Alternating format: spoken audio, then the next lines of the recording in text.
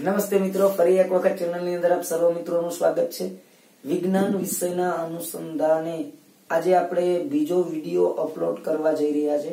આગળ આપણે રંગ, શ્વેત પ્રકાશનું વિભાજન કઈ રીતે થાય, શ્વેત પ્રકાશની અંદર કેટલા રંગો સમાયેલા છે, પ્લસ શ્વેત પ્રકાશનું વિભાજન કરતા કયા કયા રંગો જોવા મળે છે, એની ચર્ચા કરી ચૂક્યા છીએ. પ્લસ રંગોના મિશ્રણથી કેવા કેવા રંગો આપણે પ્રાપ્ત કરી શકીએ? કયા રંગો પ્રાથમિક રંગો છે? કયા રંગો પ્રાથમિક વર્ણકો છે? કયા રંગને પૂરક રંગ કહેવામાં આવે છે? આ દરેકે દરેક મેટરની આપણે ચર્ચા કરી ચૂક્યા છીએ. આજે આપણે એક અગત્યનો મુદ્દો, એટલે કે બ્રહ્માંડ, કે અહીંથી અવારનવાર એક પ્રશ્ન આવવાના ચાન્સ જોવા મળે છે. તો ભાઈ આ બ્રહ્માંડ શું છે? ગ્રહ ઉપગ્રહ લઘુગ્રહ તારા ધૂમકેતુ અવકાશ સંશોધન સેટેલાઇટ આ દરેકે દરેક મેટરની ચર્ચા આપણે કરવાની તો આવો વ્યવસ્થિત રીતે આ ચેપ્ટરને સમજવાનો પ્રયાસ કરીએ બ્રહ્માંડને. જો ભાઈ મેટર તો એ કે માણસની જ્યારથી ઉત્પત્તિ થઈ, ત્યારથી માણસ અવનવા સંશોધન કરતો જ આવ્યો છે. અવકાશ તરફ વ્યવસ્થિત મીટ માંડીને જોવે છે અને બધી વસ્તુને વ્યવસ્થિત રીતે જાણવાનો પ્રયાસ કરે છે. પરંતુ પ્રાચીન સમયની અંદર એવા કોઈ ટેકનોલોજીના સાધનો નહોતા કે જેથી કરીને માણસ કોઈ ચોક્કસ તારણો કાઢી શકે. એવા કોઈની પાસે સાધનો જ નહોતા. જો અત્યારે પણ આપણે જોઈએ તો કોઈ એવા એવી સાધનો હજી આપણી પાસે ઉણપત છે, ક્ષતિ રહેવાની જ છે. હજી સંપૂર્ણ બ્રહ્માંડનો અભ્યાસ તો થઈ જ નથી શક્યો. ઓકે? તો અત્યાર સુધી એટલે કે સન ઓગણીસો ને ચાલીસ સુધી Galileo Galileo, Galilei Galileo Galilei નામ બધાએ સાંભળેલું છે. ગેલેલિયોની પાસે ટેલિસ્કોપ હતું. તો એ ટેલિસ્કોપના અનુસંધાને જ સંશોધન થતા હતા. ઓગણીસો ચાલીસ સુધી આ ટેલિસ્કોપ હતું. ટેલિસ્કોપનું નામ હતું પ્રકાશીય ટેલિસ્કોપ. પ્રકાશીય ટેલિસ્કોપ. કે એના અનુસંધાને અવકાશનું નિરીક્ષણ કરી, જોઈ, જાણી અને બધા તારણો છે એ કાઢવામાં આવતા હતા અને કોઈ વસ્તુ માન્ય કરવામાં આવતી હતી. ઓગણીસો ચાલીસ સુધી. પરંતુ આ જે ગેલેલિયોનું ટેલિસ્કોપ હતું. એની અંદર ઘણી બધી ક્ષતિઓ હતી, ઘણી બધી ખામીઓ હતી, પરંતુ કંઈ હતું જ નહીં. એના કરતા ગેલેલિયોનું જેવું તેવું તો જેવું તેવું હતું તો ખરું. ઓકે એટલે ઓગણીસો ચાલીસ સુધી તો આપણે આ જ ટેલિસ્કોપની મદદથી ખગોળનો, અવકાશનો અભ્યાસ કર્યો અને એના અનુસંધાને સમગ્ર વિશ્વએ તારણો મેળવ્યા હતા. પરંતુ ઓગણીસો ને ચાલીસ પછી આ પ્રકાશીય ટેલિસ્કોપની જગ્યાએ નવા ટેલિસ્કોપ આવ્યા. એ ટેલિસ્કોપનું નામ છે રેડિયો ટેલિસ્કોપ. આ રેડિયો ટેલિસ્કોપને કોઈ અવર જવર વાળી જગ્યા ન હોય કે જ્યાં કોઈ આવતું જાતું ના હોય. ટૂંકમાં માણસની ખલેલ ના હોવી જોઈએ. પ્લસ કોઈ એવો ડુંગરાળ વિસ્તાર છે, કોઈ પર્વતી વિસ્તાર છે અથવા કોઈ ખુલ્લું મેદાની વિસ્તાર છે, એવા જગ્યાએ આ ટેલિસ્કોપને પ્રક્ષેપિત કરવામાં આવે, ગોઠવવામાં આવે. કેમ આપણે ડીશ ટીવી ની અંદર ઘરે કોઈ ડીશ ટીવી રાખી હોય તો એનું જે ઓલું ખારું જોવા મળે છે, એને કોઈ એવી જ જગ્યાએ આપણે રાખીએ છીએ કે જેથી કરીને કોઈ વસ્તુની અવર જવર ન થાય, કોઈ વસ્તુ એને વિઘ્ન ન કરી શકે, એવી જગ્યાએ આપણે સેટ કરીએ છીએ. તો એવી જ રીતે આ રેડિયો ટેલિસ્કોપને આવી જગ્યાએ પ્રસ્થાપિત કરવામાં આવે છે અને આ રેડિયો ટેલિસ્કોપના પરિણામ સ્વરૂપે અત્યારે આપણને અવકાશની ઘણી બધી માહિતીઓ મળતી રહે છે.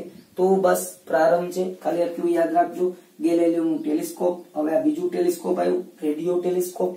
ઓકે હવે જો ભાઈ, સૌપ્રથમ એક વૈજ્ઞાનિક આવ્યો. એ વૈજ્ઞાનિકનું નામ છે ટોલેમી. ટોલેમીએ એક વાત રજૂ કરી, બધા લોકોની સમક્ષ, બધા વૈજ્ઞાનિકોની સામે એક વાત રજૂ કરી અને ટોલેમીએ એવી વાત કીધી ભાઈ કે સમગ્ર અવકાશની અંદર, સમગ્ર બ્રહ્માંડની અંદર જો વાત કરવામાં આવે, તો સમગ્ર બ્રહ્માંડમાં આપણી પૃથ્વી વચ્ચે આવેલી છે. પૃથ્વી છે વચ્ચે આવેલી છે અને બધા અવકાશી પદાર્થો એની આજુબાજુમાં ફરે. સૂર્ય પણ પૃથ્વીની આજુબાજુમાં ફરે છે. આવી વાત રજૂ કરી ટોલેમી તો એનો મતલબ એવો થયો કે પૃથ્વી છે એ કેન્દ્રમાં છે અને બાકીની બધી વસ્તુ એની આજુબાજુ ફરે. આવી વાત ટોલેમીએ રજૂ કરી કે પૃથ્વી છે એ કેન્દ્રમાં છે. એટલે ટોલેમીએ જે વાત રજૂ કરી એનું નામ છે પૃથ્વી કેન્દ્રી વાદ અથવા તમને ખ્યાલ છે કે પૃથ્વીને જ આપણે ભૂ પણ કહી શકીએ. ભૂ એટલે જમીન થાય, ભૂ એટલે પાણી નહીં થાય. ભૂકેન્દ્રીવાદ પણ કહેવામાં આવે છે. ટોલેમીની જે આ વાત હતી, એને પૃથ્વી કેન્દ્રીવાદ અથવા ભૂકેન્દ્રીવાદ તરીકે પણ ઓળખવામાં આવે છે. પરંતુ યાર પાછળથી એક વૈજ્ઞાનિક આવ્યો કે જેની ટોલેમીને પડકાર ભેગો ગઈ રેવાદની હું ખોટા અવરા ગોળા મારે. આવી રીતનું નથી કહેતા બગું આવી રીતની સિસ્ટમ નથી. પૃથ્વી એ વ્યક્તિનું નામ હતું પેલીમીટર જોઈએ કે ટોલેમીએ તો આવી વાત કરી દીધી. ટોલેમીની આ વાતને નામ આપવામાં આવ્યું પૃથ્વી કેન્દ્રીવાદ અથવા ભૂ કેન્દ્રીવાદ એની જગ્યાએ એક બીજો વિદ્વાન આવ્યો, વૈજ્ઞાનિક આવ્યો. એ વ્યક્તિનું નામ છે કોપરનિક્સ. કોપરનિક્સે એમ કીધું કે, ગાંડા, અહીંયા પૃથ્વી વચ્ચે નથી, વચ્ચે તો સૂર્ય છે. વચ્ચે તો સૂર્ય છે અને તારી પૃથ્વી પણ એની આજુબાજુ ફરે છે. બધા અવકાશી પદાર્થો એની આજુબાજુ ફરે એટલે કે સૂર્ય કેન્દ્રમાં છે. તો તમે વિચારી શકશો કે આ વાદનું નામ શું પડશે?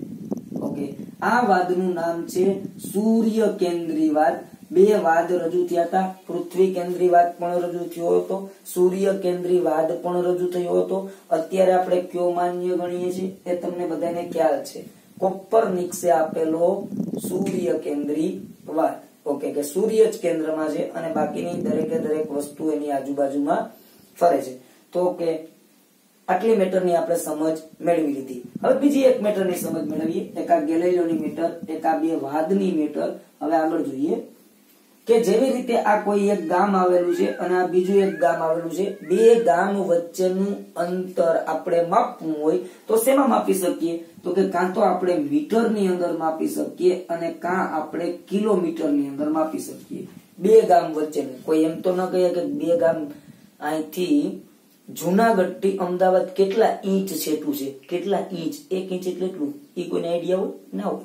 ઇંચમાં ના મપાય. એનો આઈડિયા સેમીમાં પણ ના માપી શકીએ. મીટરમાં માપી શકીએ અથવા તો આપણે એને કિલોમીટરમાં, કે આઈ થિંક જુનાગઢથી અમદાવાદ ત્રણસો સાડા ત્રણસો સમથિંગ કિલોમીટર છેટું છે. ઓકે તો આવી રીતે આપણે એને માપી શકીએ છીએ. મીટર અથવા તો કિલોમીટરની અંદર. એમાં મીટર છે કેવું એકમ છે? તો કે નાનો એકમ છે. અને કિલોમીટર જે મીટર કરતા વધારે છે. વધારે છે. એક હજાર મીટર થાય ને તે એક કિલોમીટર થાય છે. એ આપણે બધા જ્ઞાત છીએ, જાણીએ છીએ, જાણકાર છીએ ને? ઓકે તો આ તો વાત થઈ ગામ, ગામની, ગામ અને શહેરની બે સ્થળો વચ્ચેનું અંતર માપવું હોય તો આવી રીતે માપી શકીએ. હવે એવી જ રીતે બે અવકાશી પદાર્થોનું અંતર માપવું હોય, બે અવકાશી પદાર્થોનું, તો એના માટે થઈ અને બે એકમનો ઉપયોગ કરવામાં આવે છે. એક એકમનું નામ છે AU astronomic unit astronomic unit અને બીજો એકમ છે પ્રકાશ વર્ષ. પ્રકાશ વર્ષ.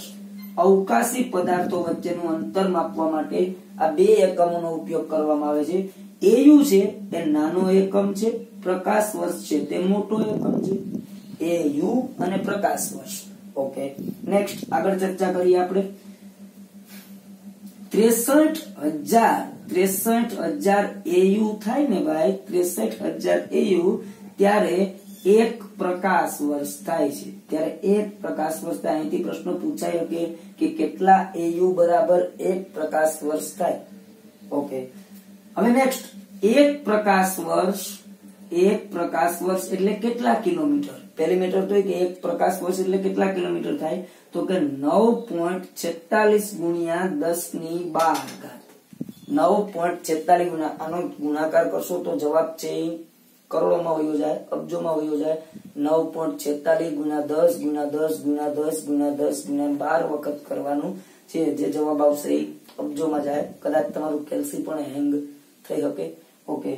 તો એક પ્રકાશ વર્ષ એટલે આટલું અંતર થાય છે. તો આ બંને એકમો છે. આ બંને એકમો દ્વારા આપણે અવકાશી પદાર્થો વચ્ચેનું અંતર માપી શકીએ છીએ. ત્યાં આપણા કિલોમીટર, મીટર બહુ ટૂંકા પડે છે. ઓકે? તો ગેલેલિયોની ચર્ચા, ટોલેમી કોપરનિક્સની ચર્ચા, આ અવકાશી એકમોની ચર્ચા કરી ગયા. અને નેક્સ્ટ હવે આપણે ચર્ચા કરવાની છે બ્રહ્માંડની. ત્યાં બ્રહ્માંડ શું છે? ઓકે? તો આવો જોઈએ. બ્રહ્માંડની અંદર ચર્ચા કરીએ. એક મિનિટ જરા. ઓકે. બ્રહ્માંડની આપણે અહીં ચર્ચા કરીએ.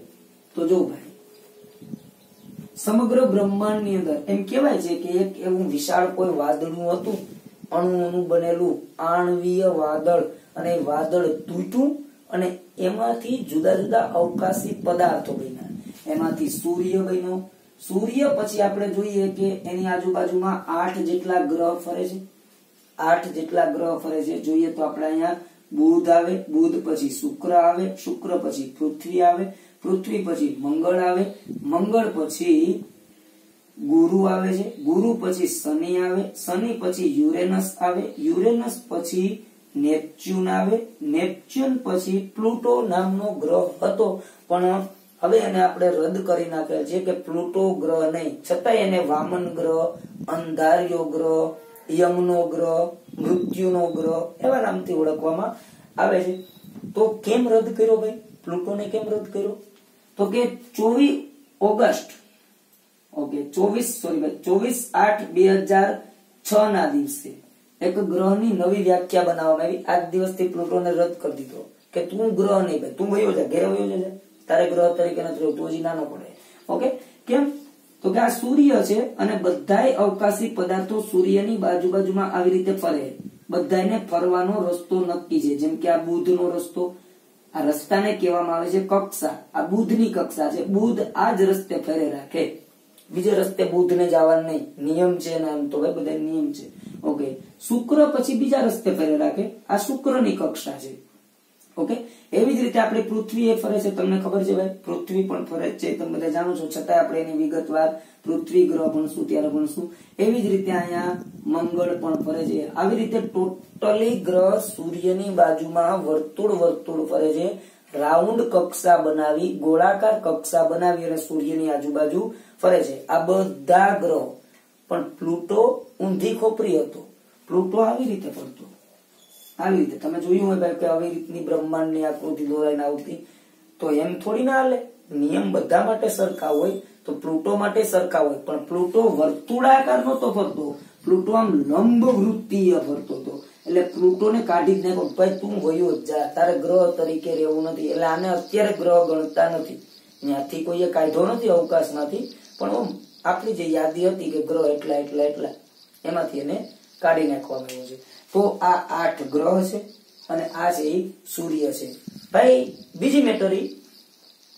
ગ્રહ એટલે બસ અત્યારે તો એટલી જ વ્યાખ્યા છે કે સૂર્યની આજુબાજુમાં જે વર્તુળ વર્તુળ ફરતા હોય, ગોળાકાર નિશ્ચિત કક્ષામાં હોય મંથનની આડાવડાના ભાગતા હોય, એને ગ્રહ તરીકે ઓળખવામાં આવે છે. સૂર્યની આજુબાજુમાં નિશ્ચિત કક્ષામાં વર્તુળાકાર ફરતા હોય. એને ગ્રહ કહેવામાં આવે છે. ઓકે?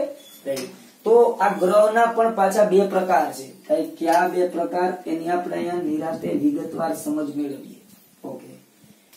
એક ટેરેસ્ટ્રીયલ ગ્રહ પણ છે, ટેરેસ્ટ્રીયલ ગ્રહ, અને બીજા ગ્રહનું નામ છે જોવિયન ગ્રહ પણ છે. ટેરેસ્ટ્રીયલ ગ્રહો પણ છે અને જોવિયન ગ્રહો પણ છે.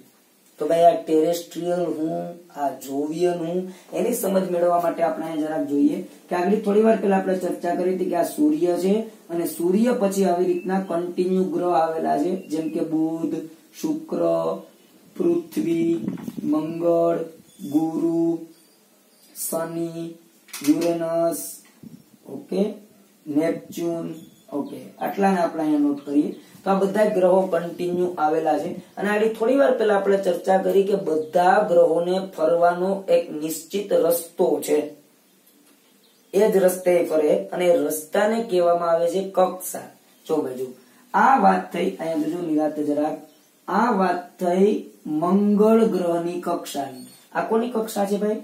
મંગળની કક્ષા છે કે મંગળ ગ્રહ છે આ જ રસ્તે ફરે. હવે એમાં કઈ બદલાવ નહીં આવે. એ જ રસ્તે એને ફરે રાખવાનો. તો આ મંગળ ગ્રહની કક્ષા છે. મંગળ ગ્રહની કક્ષાની અંદર, અંદરની સાઈડ અંદરની સાઈડ જેટલા જેટલા ગ્રહ આવેલા છે, એ ગ્રહને ટેરેસ્ટ્રીયલ ગ્રહ કહેવામાં આવે છે.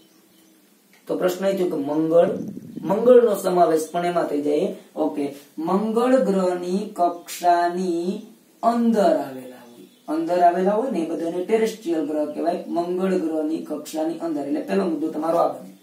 અને મંગળ ગ્રહની કક્ષાની જે બહાર આવેલા છે, મંગળ ગ્રહની કક્ષાની જે બહાર આવેલા છે, મંગળની કક્ષા બહાર આવેલા. ઓકે એને કહેવામાં આવે છે જોવિયન ગ્રહ. પેલો મુદ્દો જોવિયન ગ્રહ ક્યાં? ટેરેસ્ટ્રીયલ ગ્રહ ક્યાં? એ તમને આઈડિયા આવી ગઈ. છતાંય આપણે આ નામ લખી નાખીએ. ક્યાં ક્યાં ગ્રહ છે? ટેરેસ્ટ્રીયલ છે. તો કે એક, બે, ત્રણ, ચાર. સૂર્ય પછીના પેલા ચાર. ઓકે? બુધ, શુક્ર, પૃથ્વી અને મંગળ. શોર્ટ નામ લખેલા છે. બુધ, શુક્ર, પૃથ્વી, મંગળ. આ ચાર ગ્રહ છે ટેરેસ્ટ્રીયલ છે. અને બાકીના જે ચાર આવે છે, ગુરુ, શનિ, યુરેનસ, નેપચ્યુન. ઓકે? આ ચાર છે એ જોવિયન ગ્રહ છે. હવે કદાચ માની લો કે પ્લુટો ને આપણે ગ્રહ ગણીએ તો પ્લુટો કેમાં આવશે? આમાં આવશે કે આમાં આવશે? તો પ્લુટો ભાઈ આમાં આવશે. એક મિનિટ પ્લુટો ને જોવિયન ગ્રહ સોરી ભાઈ ટેરેસ્ટ્રીયલ ગ્રહ ગણવામાં આવે છે. એન્ડમાં વયાના જતા લખી ના નાખતા કે જોવિયન છે. પ્લુટો ટેરેસ્ટ્રીયલ ગ્રહ છે. તો આ ટેરેસ્ટ્રીયલ અને જોવિયન, આની માથાકૂટ છે શું જો ભાઈ, આપણે ગ્રહ ઉપર રહીએ છીએ. આ ગ્રહનું નામ સરસ મજાનું છે, લીલાશ પડતો ગ્રહ, આપણી પૃથ્વી. ઓકે. તો પૃથ્વી આ એક ગોળો જ છે ભાઈ. આ એક ગોળો છે. આ ગોળો શેનો બનેલો છે? ધૂળ, માટી, કાકરા. ધુવાડા તો આપણે કર્યા, એ હતા નહીં અહીંયા. બાકી તો અહીંયા માટી જ છે. કાકરા છે, રેતી છે. આ બધી વસ્તુ અહીંયાની જ છે. તો આ ગોળો છે, આવી બધી વસ્તુનો બનેલો છે. ધૂળ, માટી, કાકરા, રેતી, મોટા કાકરા, પથ્થરો, મોટી મોટી શિલાઓ એનો બનેલો છે.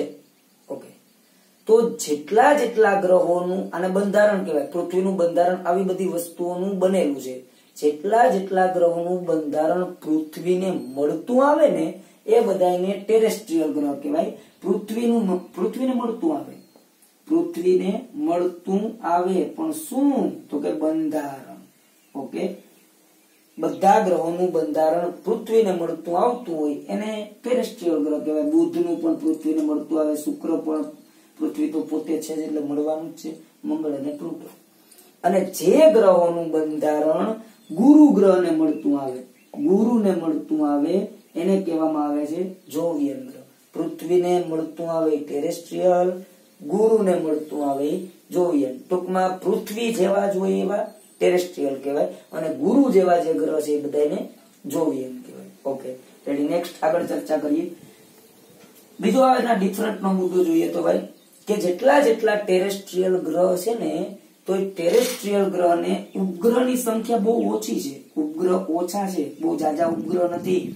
બુધને તો કે એક ઉપગ્રહ નથી. ટેરેસ્ટ્રીયલ ને જાજા ઉપગ્રહ નથી. ઉપગ્રહ એટલે કે ગ્રહની આજુબાજુ ફરતો હોય. ગ્રહ કોને કહેવાય? સૂર્યની આજુબાજુ ફરતો હોય અને ઉપગ્રહ ગ્રહની આજુબાજુ ફરતો હોય. બુધને એકે ઉપગ્રહ જ નથી, શુક્રને એકે ઉપગ્રહ નથી, પૃથ્વીને એક છે, ચંદ્ર ચંદ્ર છે ને, એક છે. મંગળને બે છે, ફોબોસ અને ડેમોસ. આ પ્રશ્ન હમણાં જ કોઈ તાજેતરની જમાદારની એક્ઝામમાં પૂછાયેલો છે. ફોબોસ અને ડેમોસ કયા ગ્રહના ઉપગ્રહ છે? મંગળના. તો ટોટલ ચાર ગ્રહની વચ્ચે ઉપગ્રહ કેટલા થયા? ત્રણ. ત્રણ જ થયા ને? ઓકે. તો ટેરેસ્ટ્રીયલ ગ્રહને ઉપગ્રહોની સંખ્યા ઓછી છે. જ્યારે આ ગ્રહો, જે જોવિયન ગ્રહો છે, એને ઉપગ્રહની સંખ્યા બહુ વધારે ભાઈ. સડસઠ, અડસઠ તો એકલા ગુરુ પાસે છે. છ, સાત, સડસઠ. ગુરુ પાસે એકલા પાસે સડસઠ છે. ઉપગ્રહોની સંખ્યા વધારે છે. તો જોવિયન ગ્રહ કોને કહેવાય? ટેરેસ્ટ્રીયલ ગ્રહ કોને કહેવાય? ટોલેમીનો વિચાર જોઈ ગયા કોપરનિક્સ નો વિચાર જોઈ ગયા, ગેલેલિયો અંગે ચર્ચા કરી ગયા અવકાશી પદાર્થોનું અંતર માપવાના એકમોની ચર્ચા કરી ગયા. હવે આપણે નેક્સ્ટ લેક્ચરની અંદર આ બધાને વારાફરતી વારાફરતી વ્યવસ્થિત સમજવાનો પ્રયાસ કરશું. Okay thank you